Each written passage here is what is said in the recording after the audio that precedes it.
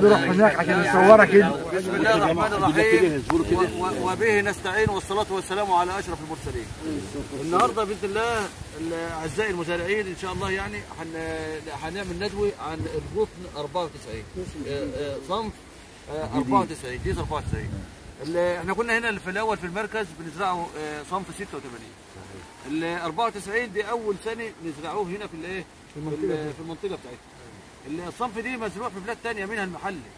آه، أول سنة زرع حوالي 1000 فدان لما المزارعين شافوا القطن قدامهم والإنتاج بتاعه وسهوله ال- الحصاد بتاعه يعني زو- زودوا ال- ال- الوزن يعني بعد ما كانوا 1000 فدان بقوا 2000 فدان بقوا 3000 فدان لأن هو شافوا إن هو تجيب لهم أسعار غليت لأن المحالج الخاصة الميزة طبعا الاتجاه الدولي في الأيام دي آه، اتجاه الريس اللي هي تزيد مساحة القطن وترجع الأول ترجع زي الأول.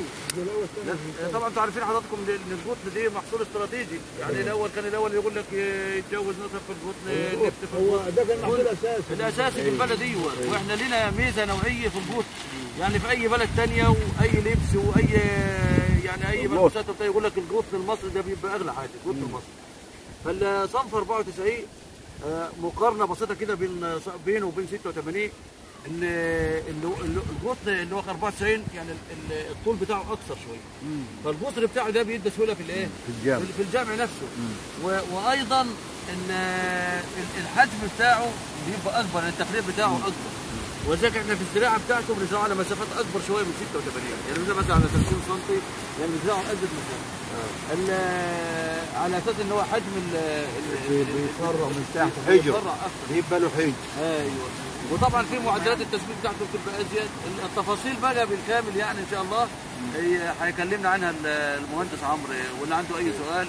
يعني اتفضل يسأل. آه، اتفضل يا أستاذ. طب المحصول طب المحصول يا أستاذ عمرو هو هيقول اهو. بالنسبة للتسويق بقى يا جماعة هو عمرو هيقول انت هتاخد معلومة. أي. انت عايز المعلومه تبلغك أو نفسك اسأل أي سؤال. أي سؤال. هيقول كل حاجة. هو هو أهم شيء في الموضوع كله التسويق. التسويق أهم شيء هقول لك بس ثواني بس. التسويق. المحصول بتاعه عمرو المهندس عمرو يعني اخصائي الجوط وفي أي سؤال حضراتكم آه، عاوزين تطرحوه. وبرضه الباب مفتوح للمناقشة يعني. أيوه يعني عادي. اتفضل يا. أنا بتشرف بوجودي معاكم النهارده الحمد لله يعني. الله يكرمك. هو الموضوع مش إيه مش غريب يعني. هو ال- القطن بتاع اللي إحنا بنتكلم عليه هو طبعا طول عمرنا بنزرعه القطن اللي هو 86 حد ح- أظن كلكم زرعتوا ال 86 الصنف اللي قبل كده. هو ده كانت فيه شوية آه، مميزات إن هو لا هو كل الأقطار قوي. كل الأقطار عندنا هنا في مصر في في كذا في كذا نوع من من- أنا هقول لحضرتك لا قصير التيله ما بيتزرعش ثواني بس. عندنا هنا في مصر في نوعين من طويل التيلة وفائق الطول وكل نوع نوعين. طويل التيلة في طويل التيلة. وجه بحري. وطويل التيلة. وجه ابلي كل محافظة له آه. وفي برضه نفس النظام اللي بيتزرع في الوجه البحري غير اللي بيتزرع في الإيه؟ الوجه الابلي فإحنا عندنا طويل التيلة الصنف اللي هو ال 94 ال 86 الاثنين طويل التيله اصناف طويلة الإيه؟ طويل التيله ال ال 94 وال 86 من الأصناف اللي هي بتتزرع في الوجه؟ البحري عندنا هنا ال 94 ده أبوه هو ال 86 يعني هو مستنبطينه من الإيه؟ من ال 86 آه يعني هو ده الأب بتاعه. هو الستة إيه؟ صف 86 ال 86 كان فيه شوية مشاكل ومميزات. ال 94 في برضه مشاكل ومميزات. مش واحد واخد المميزات كلها لوحده ولا واحد واخد المميزات كلها لوحده. بس التغيير في حد ذاته حاجة كويسة. اولا ال 94 هو جديد علينا هنا في في مركز بسيون بس إحنا بس هو فعلا زي ما الأستاذ خالد قال كده هو اتزرع بقاله خمس سنين وست سنين بيتزرع في المحلة وفي الصنطه تقريبا. إنتاجيته؟ ما هقول لك. هو إنتاجيته؟ إنتاجيته بتعمل لا لها ده البعد تم زراعه هي القصر بينزرع هناك دلوقتي. ما هو هناك بس هو البعد بيتزرع هنا. ثواني ثواني. ثواني. ال- ال- انتاجيه القطن بتاع ال 94 بيوصل انتاجيته ل 12 بنطاق وممكن يعدي عشان خاطر السيستم يعدي بيوصل 13 ولا حاجة. تمام. ماشي؟ بدايه الزراعه ما أنا هقول لحضرتك بقى هنتكلم بقى نرتبها واحدة واحدة. اولا هنتكلم عن الايه عن مواعيد الزراعة معدلات التسميد ال- المقاومة ال- الحصاد الجني كمان. تمام؟ اولا وكمية الإيه؟ وكمية البذر أنا النهارده تجهيز الأرض كل الناس عارفة أنت ممكن تزرع القطن. يا إما محمل على بصل يا إما هتزرعه في أرض خالية مكان فول مكان بنجر مكان إيه؟ مكان آه، مثلا ممكن تزرع مكان غلة على فكرة يعني. أيوه شهر خمسة. أنسب مواعيد للزراعة من 15 3 ل 15 4 ده أنسب ميعاد للايه 15 3 15 3 يبدأ يعني إحنا ماشي. من 15 3 ل 15 إيه 4 ال- الأرض بتتخطط من 10 ل 11 خط في الأساطير. ماشي. بزرع بزرع على مسافات الزراعة من 25 ل 30 سم ما بين الايه الجد والجد. الجورة والجورة. الجرة والجرة بقى كام؟ 25 ل 30 سم لو هزرع على مصاطب بخطط بيبقى ثمن بتبقى الثمن ثمن يعني مصاطب حماه لو. المنطقة بتاعتك عريضة تزرع بالرشتين. وبقلل المسافة بخليها بدل ما هي 30 هش- هشتغل على 25 تمام؟ أيوه. كمية البذرة بحتاج 24 كيلو للفدان. البذرة الأرض هتتزرع ب 24 كيلو. هي الشجارة هي وزن الشجارة عندنا 24 موجودة عندنا. 25 ده كده 24 الشجارة 24 بتنفع الشجره 250 ب 290 بالمطهر. لوحدها ب 290 جنيه بالمطهر؟ والمطهر مهم جدا. المطهر المطهر مهم جدا. لأن علشان الإيه؟ الأمراض الفطرية سواء خناك سواء كلام من ده تحاول إيه؟ تطلع منه. آه. فلازم حتة المطهر ده إيه؟ ما تستسهلوش. لا خد المطهر وطهر بالمسك تمام؟ عرفنا الإيه؟ اللي هي انسب أنسب ميعاد للزراعه طبعا المفروض كان قبل كده كان تجهيز الأرض للزراعة. هبدأ بقى أجهز عشان يحمصها كله بقى بيجهز بقى. كلنا عارفين بت- بتحرت وشين متعامدين وسكتين يعني متعامدين وتحط السوبر على البلاط. هي ثلاث شكاير سوبر للفدان أيوه. ثلاث شكاير سوبر طب على البلاط عندك هتحط سباغ بلدي تحط سباغ بلدي بس يكون إيه؟ قديم. لا يعني قديم. عشان درب لا يعني قديم يكون بايت كل سنة عندك. يعني تكون أنت مشونه أهو بقاله سنه الصبر على البلاط ولا بعد الحرب السوبر على البلاط. انت جاي تحت قبل ما تيجي. تحت أنت قدام باقي السنة السوبر السماد السم- السباخ البلدي. وهو طري. لا مش كده كمان. السباخ البلدي وهو طري بيبقى لسه محتاج يسحب من الأرض بيسحب من الأرض طاقة؟ لا بياخد طاقة عشان يتحلل فهو عايز بياخد بيسحب من الأرض. أنت عايز تديها للأرض. هو بيسحب عشان كده لو أنت حطيته خام لسه جديد للزرعة هتلاقي الزرعة الأولانية مش حلوة. على ما الزرعه السباخ الثانية الطري كمان في نوع من البكتيريا في الأرض بتشتغل عليه بتنتج غاز سام بيقتل بكتيريا نافعة في الأرض. تمام. تمام. اسمه غاز الإنسولين. تمام. فهو استحسن يكون الايه هم بص يا حاج جاب. السباق طري. جاب. لأن السباخ لما يبات سنة وتيجي تطلع تجيب سخن كده. في بعض الدول يا عبد الحاج بعض الدول ما بتستخدمش السباق ده أصلا إلا لما يتعقم كمان. يعني في بعض الدول الأجنبية بياخدوا السباق دي يعقموه ويحطوه في شكاير زي الايه زي, زي, زي الكلام ويضيفوه فالسباق ده خ- السباق ده خطر جدا لو انت ما ضفتوش بالاسلوب المناسب لا لا لا لا صاحب برضه مش حتة ناشف يعني تنشره كده ونشف من الشمس خلاص لا الكومه زي دي كده يعدي عليها سنه وتتجلب خلال المنتج يعني انت خلال السنة دي اي لودر جاي معدي عندك خليه يقلبها لك مره اثنين ويا سلام بقى لو فيها جش. ممكن تحط لها شوية. في حاجة في ولا مية ولا بعض حاجة. ممكن تحط لها مية ميه مع الجش وفي حاجات كانت بتيجي من الزراعة. كده بيسموها إيه؟ المهم المهم حطينا السوبر ثلاث زي ما قلنا كده ثلاث شكاير للفدان البلاط. على البلاط. على الخدمة. قبل قبل الخدمة. ليه برضو السوبر ده برضو في أي زرعة؟ على فكرة مش القطن بس السوبر بيتحط لأن هو بيسموه هو ما بيتحركش. هو عنصر كسول ما لو زودت شوية في الصوت مش مشكلة بس بد- بس ما تزودش. كتير يعني. بس أنا لو زودت بس ما تروحش تحط 10 ثلاث أربع شكاير ماشي. لو زودت عنب يجيب مرض بيجش في الأرض بس. يعني دي دو- الحتة بتاعت عندك 20 جرام أنا زودته في البرسيم. هتوصل بقى جاب له بتاع عنكبوت. صلى على النبي الحاج في نقطة ال- بالذات الأسمدة دي. ال- السماد طبعا إحنا مراكز البحوث مجرباه ب- بكمية مناسبة ل- لكل زرعة.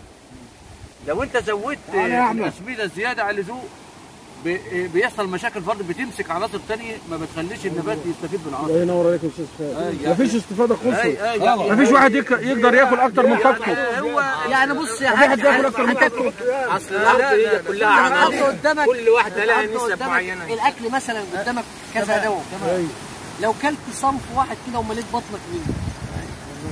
مش هتعرف تاكل الحاجات التانية. الحاجات التانية فيها فايدة زي الايه؟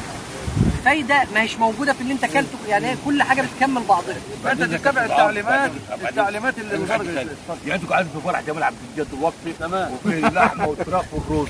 انت يا حاج جاب حتة اللحمة. هينزل على اللحم هتيجي تبص انت هيسيب الحلويات يا إحنا معلومة يعني أيوه تسليم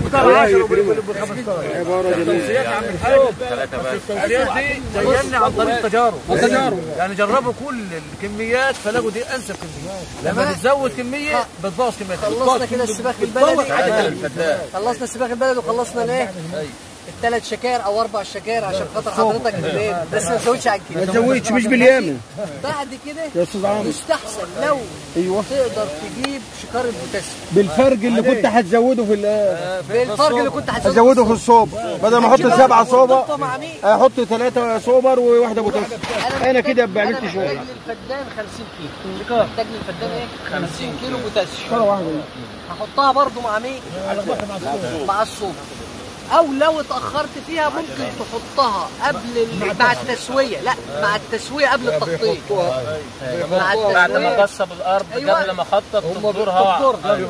البوتاسيوم بقى ما كانش بينحط إلا في آخر زقيه غلط. لا غلط. ده الرش بقى وأنت لما تيجي ترش بقى البوتاسيوم ما كانش بينحط الأرض لا, دي لا يا عم جمال أنا ما تلحقش تستفيد منه الزرع ما تلحقش الزرع تستفيد بعد منه إذنك يا لو ما حطيتش سواء. الأرض. هتشتغل بقى بالرش. وكده. البوتاسيوم العزف الأول ليه يا عم جمال لأن أنت ع- لا لا لا لا. هو ال- الزهره هتخش أو الثمره هتطلع هو البوتاسيوم ده وظيفته بقى إن هو بينمي الثمره دافع للتزهير عليك. كبر حجم الثمره إنما أنا بعد ما ظهرت بعد ما ما لحقش يستفيد منه النبات مش حاجة الله يكرمك. هنيجي بقى إيه العنصر الثاني إحنا قلنا. قلنا السوبر ثلاثة أو أربعة ووا- وواحدة بوتاسيوم. محتاجين بقى الأزوت هو بياخد معدلات تسميد برضه عشان 86 القديم. أزوت يعني الكيماوي اللي هو النترات واليوريا اليوريا بياخد اليوريا اليوريا دي فيها 46% أزوت. يعني كل شكارتين فيهم 46 كيلو أزوت. وحدة أزوت تمام؟ كل شكارتين 100 كيلو فيهم 46 مش معنى إن مكتوب عليها 46 يبقى جواها هي 46 لا ده هي في المية يعني عايزين كل 100 شكارتين كيلو. 100 كل شكارتين. 50 كيلو. ف- الشكارة 50 كيلو وهي 46% يبقى شكارتين اللي هو 100 كيلو كل عليهم 46. عشان تعرفوا ال المعلومة دي. 86 ال 86 ما كانش بيحب التسمين ما كانش بيحب إن هو يتحط له في موت. ولما بيتحط كمان مكان لما بيتزرع مكان بصل كنت بتحس بهياج فظيع لأن البصل بتموت. ال ال 94 عكسه. ال 94 محتاج إيه؟ كيماوي. كيماوي ياما. تمانون اللفظ ده يا باشمهندس. اللوريا ولا المناصرات المتاح. متاح متاح أستاذ عمرو هيجاوبك أول سؤال. حلو. المتاح أنت عندك هو ال- اليوريا هي فيها بيت تهيج خضر لا هي مش قصة تهيج خضري. هو شفت أنت إيه؟ شفت السبلة والسباخ؟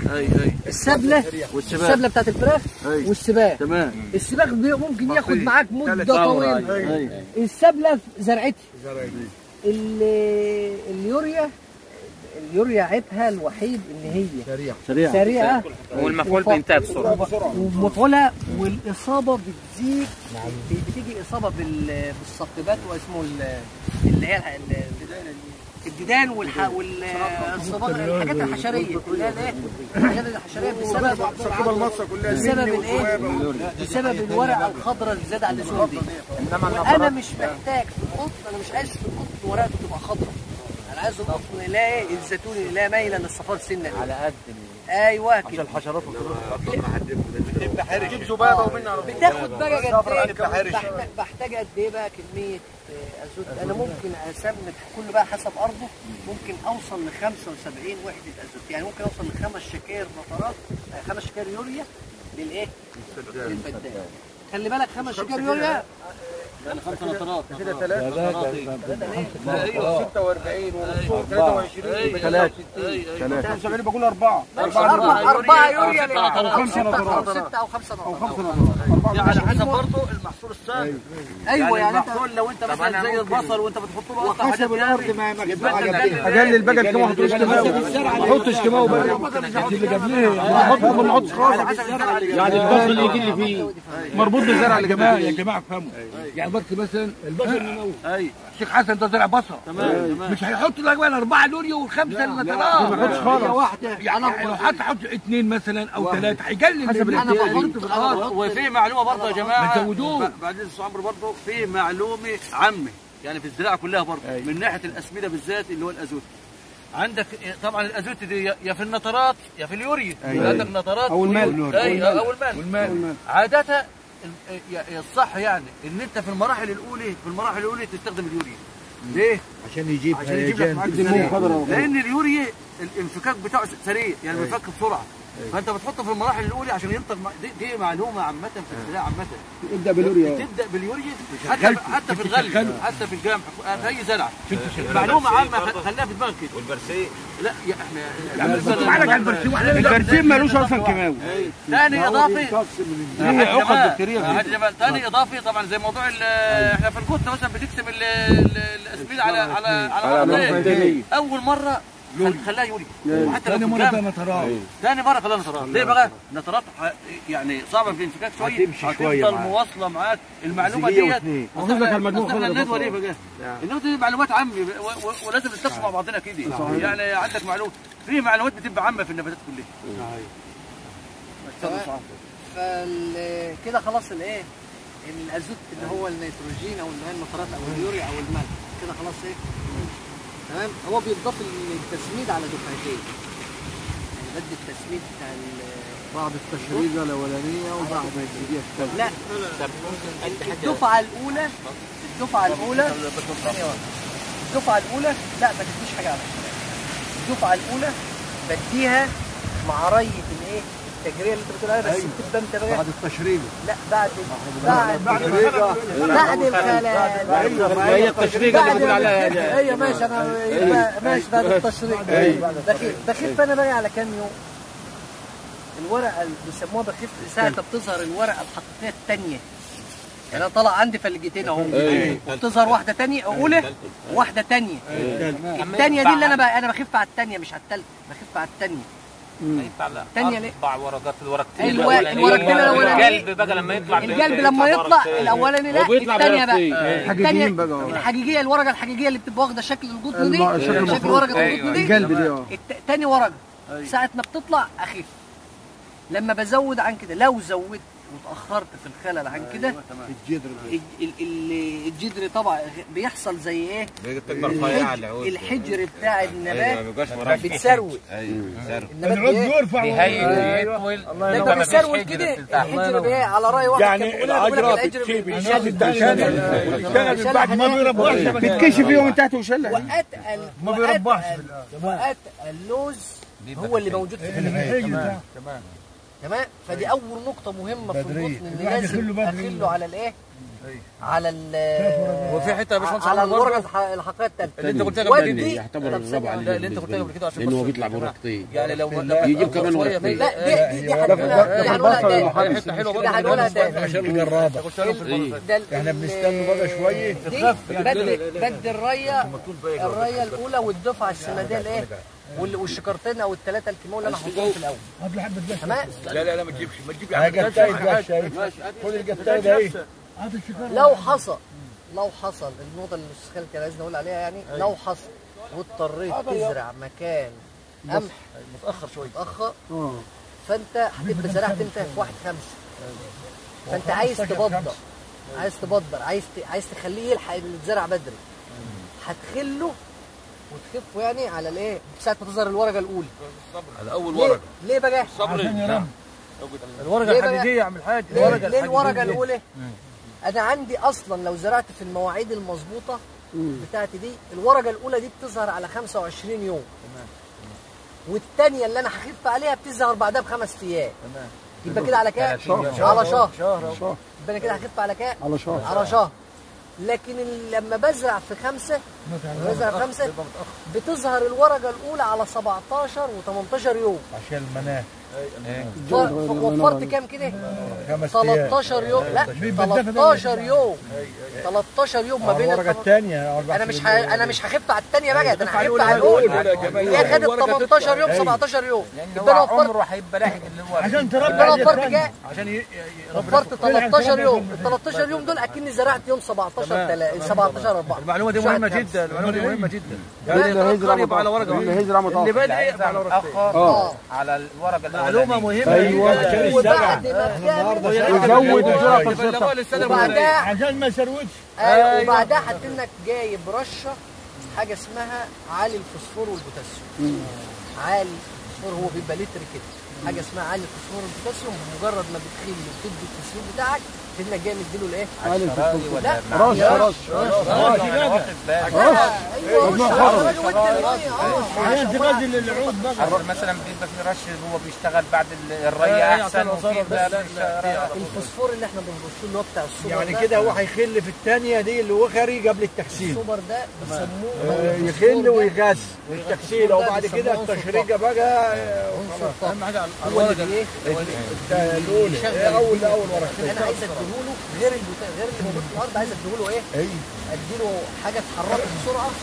فبرشه رشه كده عالي الفوسفور والبوتاسيوم دي تزرع متأخرة. دي بزرعه عشان تلحق بسرعة يجيب معاك بسرعة. نرجع تاني للإيه؟ بس هي الجراده ما بتشتغلش إلا بعد ما بيطلع قبل التكسيل أو بعد التكسيل أحيانا بتيجي بعد التكسيل لأن الأرض إحنا بنقول له الأرض بتخف فيبقى فيها الجراده فلازما لازما في حاجة معاها قبل مع التكسيل لازما تترش حاجة للجراده ماشي ماشي. أما تكتب حاجات المكافحه أيوه أيوه النقطه استنى. استنى استنى استنى خلينا أعمل ذكريا شوية. عشان تصور بس. النقطة الثانية على علف ولا النقطة الثانية بقى إيه؟ بقى عشان ما ولا تقطعش جرادة ولا مش جرادة. المعلومات ثواني دي. بس، عشان هي الله ما هي الرية اللي بعدها على طول إحنا ضفنا الدفعة السمادية في الأول. بعديها ب 15 يوم أو من 12 ل 15 يوم هتروي الرية الإيه؟ الثانية بقى بتاعت القط أو الثالثة كده. إحنا بعد الخف رية اهي بعدها ب 15 يوم هتدي الرايه الثانية الرايه الثانية دي هتدي فيها الدفعة السماديه الثانية ماشي. وكده تبقى أنت خلصت الكيماوي بتاع الإيه؟ بتاع الأرض. في حاجة مهمة أنا ليه بحافظ على فترات الري وعلى دفعة التسمين؟ أنا عندي برضو زي ما قلنا كل حاجة لها ميزة ولها عيب لما قلت لكم في البداية. ال 94 في خلال 60 يوم من الزراعة بيديني زهر بيديني الوسواس بتاعه والتسهيل يعني التاني بيقعد لحد كام؟ 76 و80 يوم. يعني إيه؟ يعني أنت زرعت مكان محبطها فأنا عايز في ال 60 يوم الأولانيين دول. أنا عايز في ال 60 يوم الأولانيين دول أكون عملت إيه؟ يكون العود بتاعه. خضري مجموع خضري بحيث يطلع فروع بالظبط. الله ينور عليك. الله ينور عليك. المشكلة الثانية بقى اللي لازم نحطها في دماغنا. بمجرد ما بيظهر الوسواس ده أنت عندك 8 ل 10 أسابيع بس. ده بيطلع اللي بيسموه موسم التزهير أو فترة التزهير بتاعه الإيه؟ بتاعه القط بيفضل يزهق كام يوم؟ سبع أسابيع. أربع لا ثمان ثمان من 8 ل 10 أسابيع. حوالي شهرين برضه. شهرين. ال 86 كان في ميزة بقى. 86 كانت الميزة بتاعته. ممكن يوصل ل 14 أسبوع. يوصل كام؟ 14 أسبوع يظهر فلو. حصل عند بعد بتشبعه خلي النقطه بقى اللي هيبقى فيها الايه حتة بقى الفلاح اللي اللي راسه وإيده في غيرته وفلاح تاني مكبر دماغه. أي غلطة بقى في أي غلطة. في ال 86 كان. ممكن سهل إيه؟ يعوض. يعوض. حمديه ده في وزاز بيجي على ما أنا هقول لحضرتك بقى أهو. ال 94 ال 94 ما ينفعش إن أنت إيه؟ تهمل فيه. رش على طول بس عايز رش على طول ومواظبة على طول. والرش والحاجات دي كلها موجودة هنا في متوفره كلها في الجمعية. للأسرة. تمام؟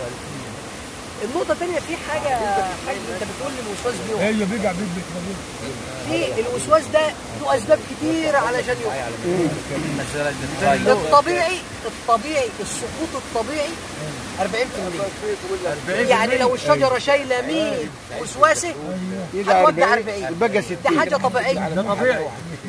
ده حاجة إيه؟ طبيعية. بس مش معنى إنها حاجة طبيعية. أنا هقعد اعد وأبقى متخيل إن كل اللي بيجي ده طبيعي. أنت ممكن يقع عندك زيادة ري. عطش. أو عطش. أو ديدان له. أو ديدان. أو بياض اي اي مرض فممكن يحصل إيه؟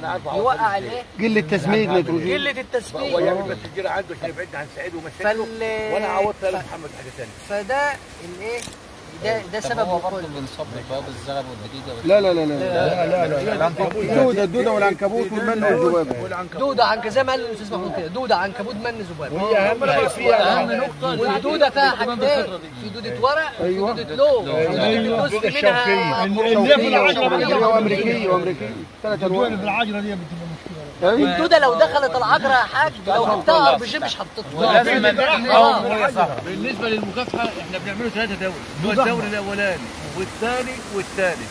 فأنت على طول ساعة ما الجمعيه بتابع على طول. تشتغل- تشتغل على طول. وما تستناش برضه المسافة اللي ما بين دوري أول ودوري ثاني رش رش انت بقى عنه. على أساس إحنا عاوزين نحافظ على الوسواس في النهاية كلها زي ما قال المهندس عمرو إن إحنا الفترة دي شهرين من الوسواس لنهاية المحصول اللي يروح مني مش هعرف أرجعه تاني. ف- اللي هيروح منه فأنت لازم تحافظ عليه بكل الطرق يعتبر العيب اللي هو عيب الصنف دي. ده هو حساس جدا. حساس في الفترة دي. ما بيذبحش ميه في حتة في حتة في حتة فنية كده. في حتة فنية بين الدوري الأول والثاني 10 بيقول لك دايما البتاع ده بيوجع؟ مرة بين اللي بيحصل تصادم ويوجع الظهر بتاعه. ال- الجزء وصل عندي تفتيح من 50 ل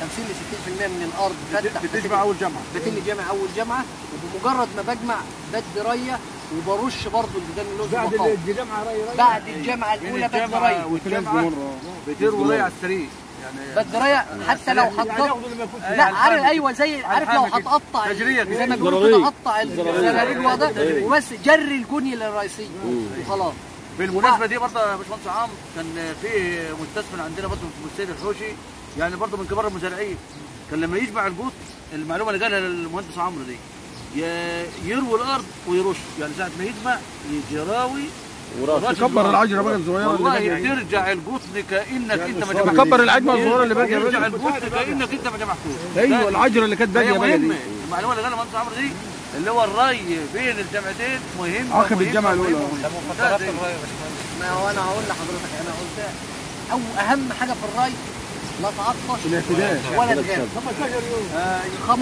لقيت بص أنت المية بقى انت وارضك سريعه وبدل ما هي 15 خليها 10 أنت وارضك أه. وإحنا دايما في بدل معلومه 10 أيام بدل ما 15 يوم مثلا ولا تستنى 20 يوم لا. خلي الميه سريعة في الأرض تحوله كل حاجة كل ارض طبعا بتختلف عن وكل أرض بتختلف. وخلي خلي الميه سريعة وحامية وإيه؟ وكتر رياض لو عطش والواحد بقى لكن يودع لكن تخليه يعطش منك ولا يشبع. منك على حسب برضه عشان خلي بالك إن العطش المية اليامه اخطر من العطش. والعطش وده مضر وده مضر. هو لما يعطش جامد أيوة مش. هتعرف تتحكم هو فيه هيشبع. غصب ولذلك ولا ولذلك انت بتخطط جذور الأرض في الأول بتخطط مظبوط بتملي سكونك مظبوط بحيث إن أنت تتحكم في موضوع الري لأن موضوع الري دي لو ده في مهم مهم لو. في أي حد عايز سؤال ولا حاجة إحنا تحت امرك. إحنا كده خلصنا. أنت كده بقى بقى هتكتب